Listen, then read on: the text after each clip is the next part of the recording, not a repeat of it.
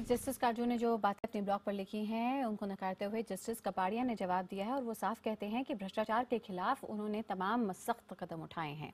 Justice काजू के लगाए आरोपों का जवाब देते हुए पूर्व जस्टिस एच एस कपाड़िया का कहना है कि उन्होंने भ्रष्टाचारी जजों के खिलाफ सबसे ज़्यादा कदम उठाए। एक अंग्रेज़ी अखबार से बातचीत में पूर्व जस्टिस यहाँ पर कपाड़िया कहते हैं कि क्या काजू ने किसी जज का नाम लिया है? काजू किस जज के बारे में बात कर रहे हैं? ये बता पाना दो साल बाद मुश्किल है। जब भी वो मेरे पास आए, मैंने कई जजों का तबादला किया जिसकी उन्होंने शिकायत की। मैं सिर्फ़ इतना कह सकता हूँ कि मैंने कभी किसी गलत जज को सुप्रीम कोर्ट नहीं लेकर आया और कई जजों को हाई कोर्ट में कंफर्म भी नहीं किया। मेरा कार्यकाल देख लीजिए।